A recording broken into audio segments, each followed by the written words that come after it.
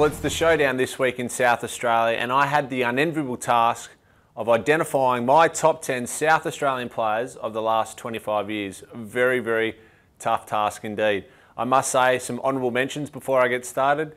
Guys like Shaun Rehn, Brad Ottens, Corey Enright, Andrew McKay, uh, Mark Bickley, Tony Modra, all missed out. Now they're pretty good players, so hopefully the top 10 can identify my best of the past 25 years. Pavlich, oh, gee, going in hard there, Cruiser. Pavlich somehow did it all himself from 60, kicks to the goal square, bounces through, it's a goal. Unbelievable goal, Matthew Pavlich. Crowley running through centre half, oh. forward, Pavlich flies! The oh. skipper!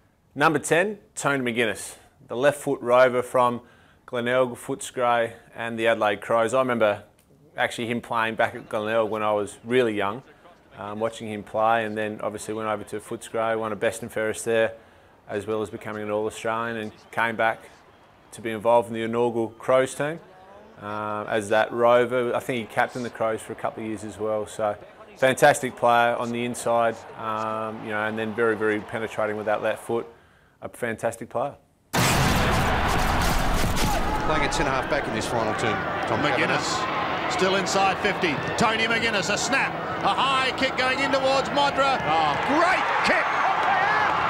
Number nine, Warren Tredrea, um, a fantastic power forward, probably one of the guys that started that term as a power forward. Um, I guess he came in to the competition as not a genuine centre forward and not a genuine full forward, but sort of played in between. And I had um, the task of playing on him a few times, and I was, I was playing down back, and he was a tremendous player. Um, led the, the Port Adelaide Footy Club so well in that year when they won the premiership, and for a long time there was you know the game's very much power forward, the best power forward. Goes forward again for Port Adelaide. No laughing matter for the Roos. Tredrea. Oh, don't tell me. Oh, Tredrea! Party time! And thank you very much. Number eight, Simon Goodwin, um, a penetrating left footer who could play both inside mid and, and on the wing and half back. Uh, I remember actually being at the MCG in 1997 when he played in the Crows Premiership. Um, fantastic player and, and, someone who you know was a multiple All Australian player. Um, had the ability to, to really you know lead the, the Crows when they were struggling and um, not sort of playing the way they'd like. He, he could stand up and be the one that, that took the reins and um, you know, he's a tremendous player, and I think even towards the end of his career, he got had a couple of injuries, but then got back to all Australian form, and um, yeah, a player who was uh, who was very hard to play against. Some important players for Adelaide combining for the first score. They go forward again. Johncock, he's moved forward to Goodwin. The second goal inside 30 seconds. Yes. Number seven, John the Rat Platten. Um, you know, a figure in the game who's unmistakable, really. You know, the, hair and the way he went about his game. Um, someone who came across from Central Districts would have played over 100 SANFL games before he, he made the trip over to Victoria and, and play for Hawthorn. Um, you know, played in a lot of their successful premiership teams and um, both Magarey medalist and Brownlow medalist. So not a bad sort of thing to have on your uh, your resume. And yeah, tr- tremendous player inside, you know, rover, and you know, was, had the ability to go forward and kick goals as well. John Platten, a very good player. Codman, Platten's got him. Great tackle by the Rat. Zilla. Piggyback. Oh, on the Platten. A little rover on the left foot. Now he straightens up on the right. Bends it back. Oh, he's kicked the goal. Number six, Ben Hart, uh, the rebounding and lockdown defender of the Adelaide Crows. Um, was a player who had tremendous versatility, was able to play on, you know, Tony Lockett and Gary Ablett, but also on some smaller players as his career went by. Played over 300 games for the Crows, uh, multiple Australian winner, premiership player, and someone who was so durable. You know, I remember growing up in Adelaide and and the talk always being that this guy just keeps fronting up. You know, he had an amazing ability to play with injuries and, and just had that durability that I know coaches and, and their teammates really like. So Ben Hart, number six. It's back towards the middle. Murphy was exposed though. Hart came across, knocked it down, runs onto it. Storming back towards goal is Henschel. High ball, pits Henschel against Morris. Morris, did he touch it? I'm not sure he did. Has kicked a goal. All right, to the top five. Number five, Gavin Wanganeen. Um, the versatile sort of back pocket, forward pocket, on ball, every now and then player who had just tremendous skill and ability. Um, someone who people would walk in and, and love to watch. Um, you know, started out at Port Adelaide and in the SANFL, played that season or so there, went across to Essendon, was a part of the Baby Bombers 93 premiership team, won the Brownlow, um, and then went back to Adelaide and, and captained Port Adelaide um, and was certainly a, a, large part of their success in the early 2000s. Um, you know, a great ability. I remember in the 2004 grand final to go forward and, and sneak a couple of goals really when the game was up for, for grabs. Um, a tremendous, tremendous player.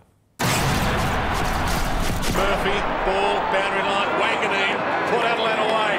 Wanganeen, great support there as well. Kick inboard finds James. They've got players on here if they can control the ball. Schofield, back to James. He'll run towards goal. Didn't have to stop. Gives the handball off to Wanganeen, who's run all the way from the back pocket. Lines up the goals! Team lifting goal from Gavin. Number four, Craig Bradley, someone who just kept playing and playing and playing. Um, played 99 games for Port Adelaide in the SANFL. Um, played in a premiership there and then went on to play over 350, I think even over 375 games at Carlton. Um, you know, state games, games for Australia. He, he, was just someone who kept fronting up and playing well, and um, it almost seemed like he, he got better as, as the years went by. He was another one of those players in the late 80s that played a huge amount of footy in the SANFL and then rolled into the AFL and just you know, hit the ground running. Tremendous player, led the cap, um, was captain of, of Carlton as well, and someone who I greatly admire. McKay, back to Bradley. What a goal this would be. Banana kick by Bradley. All right, so to the top three, and I must say before I start, this could have gone either way because I believe these three could have arguably been one, two, or three, respectively. So number three, Mark Ricciuto.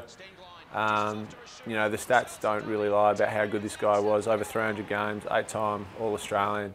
Premiership player, best and fairest winner, Brownlow medalist. Um, he had it all. Ability to, I remember actually he started on the wing um, as a real young player in the, in the AFL with the Crows and then became that inside powerful midfield player with the ability to go forward and, and play full forward, genuine full forward and kick goals.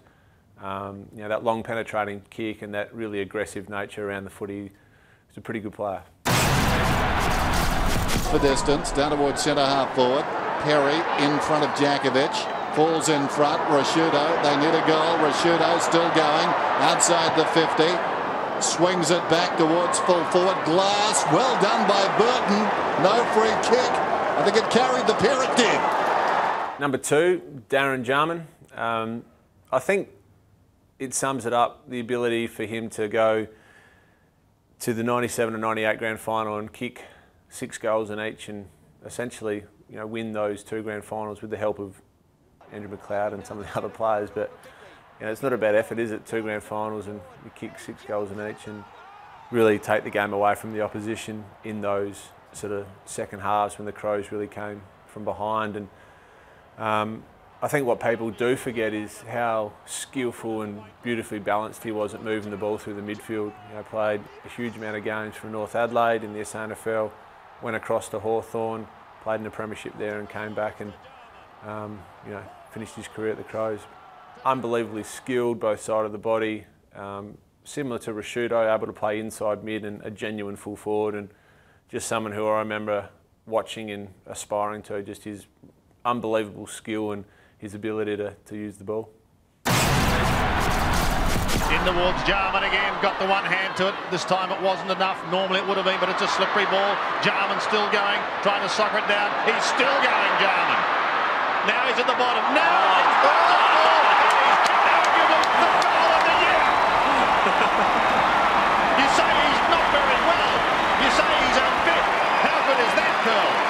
So my number one, Stephen Kernahan, played, you know, over 130 games at Glenelg, leading goal kicker there for a few seasons, and then came over to Carlton into the AFL and was captain almost immediately. Um, he was the longest, is the longest serving captain at Carlton and in the AFL, I believe. Um, you know, led the goal kicking there for a long time. Kicked multiple goals in finals, kicked multiple goals in state of origin games. Um, you know, just someone who I think really was the pinnacle of centre half forwards and full forwards um, in that late 80s, early 90s. Um, someone who I remember um, I met sort of in my late uh, in my late teens and thought it was the best thing since sliced bread to shake the hand of Stephen Kernahan. Um, you know, I had the opportunity to, to um, sort of meet him a few more times since then and um, such a big figure in the game and someone who um, is revered by many South Australians and I think is thoroughly deserved of the number one position. Having a bit to say too. Willow, there's Clappe meantime, kicking inside the 50. Kernahan keeps the ball in front. Still he goes. Some indecision. It served them well from 45 metres out. Kernahan. Goal.